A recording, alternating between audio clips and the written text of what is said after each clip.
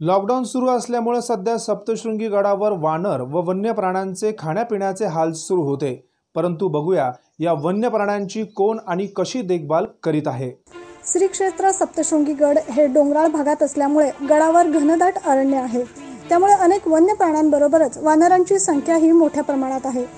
श्री सप्तशृंगी मातेचे मंदिर पर्वताच्या शिखरावर असल्याने तेथे हजारो वानर मुक्तपणे संचार करीत असतात. लॉकडाऊनच्या पूर्वी भाविक सप्तशृंगी गडावर येत असल्याने वानरांना विविध प्रकारचे खाऊ भाविकांकडून मिळत असे.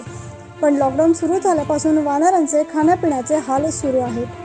नांदुरी ते सप्तशृंगी गड या दहा किलोमीटरच्या पट्ट्यात सेल्फी पॉईंट सतीचा कडा नांदुरी ते सप्तशृंगी गड या दहा किलोमीटरच्या रस्त्यात सेल्फी पॉईंट सतीचा कडा आणि मंदिर येथे हजारो वानर मुक्तपणे संचार करीत असतात.